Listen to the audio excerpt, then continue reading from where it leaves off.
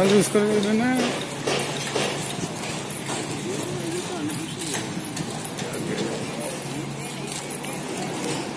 ఏ ఊరమ్మా? ఏ ఊరు?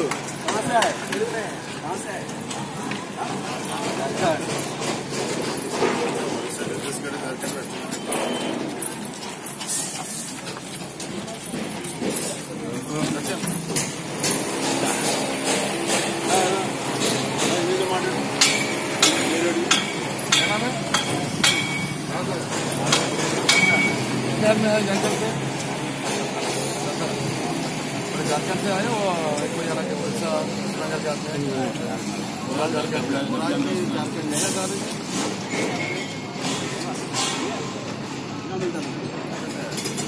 మన కాకినాడ సిటీకి కేటాయించడం జరిగింది ఇవి శంకుస్థాపన చేసి కూడా ముఖ్యమంత్రి గారు నాలుగు సంవత్సరాల దగ్గర దగ్గర కాబోతుంది నాలుగు సంవత్సరాలకి ఇవాళ ఎన్నికలు దగ్గర వస్తున్నాయి. పెద్ద ఎత్తున పేద ప్రజలకు ఇల్లు ఇచ్చామని చెప్పి పదే పదే చెప్తున్నారు. కానీ ఇవాళ కాకినాడ నగరంలో ఎవరికి ఇల్లు ఇచ్చారు? ఎన్ని పూర్తి చేశారు? ఈ ప్రాజెక్ట్ ఎంతవరకు వచ్చిందని ఒక ఆలోచనతోటి నగర అధ్యక్షులు అదేవిధంగా భారతీయ జనతా పార్టీ టీమ్గా ఇక్కడికి రావడం జరిగింది. ఇక్కడికి వచ్చిన తర్వాత అధికారులతోటి ఇక్కడ ఉన్నటువంటి అధికారులు ఏపీ టెట్కో కానీ లేకపోతే ఎన్సీసీ కానీ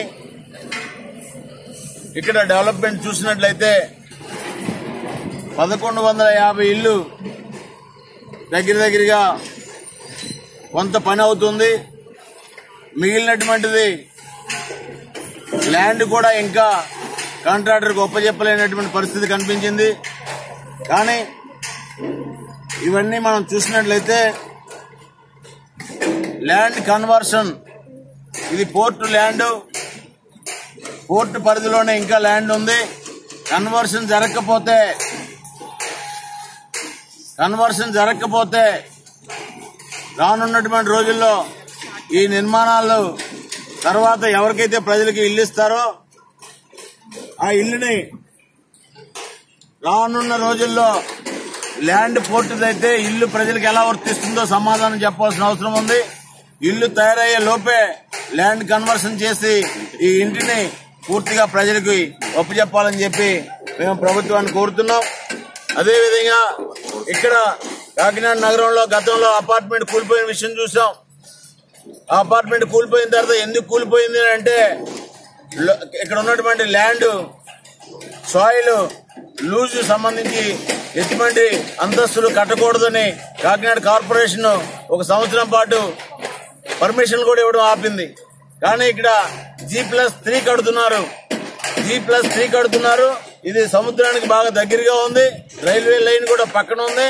కానీ దీనికి సాయిల్ టెస్ట్ సంబంధించినటువంటి రిపోర్ట్లు ఏ విధంగా ఉన్నాయి? పరిశీలించవలసిన అవసరం ఉంది. దానికి సంబంధించినటువంటి కాపీ కూడా ఇమ్మని అడుగుతున్నాం. అదేవిధంగా ప్లాన్లు నూట నలభై బ్లాకులు నిర్మాణం చేయాలని ప్రతిపాదన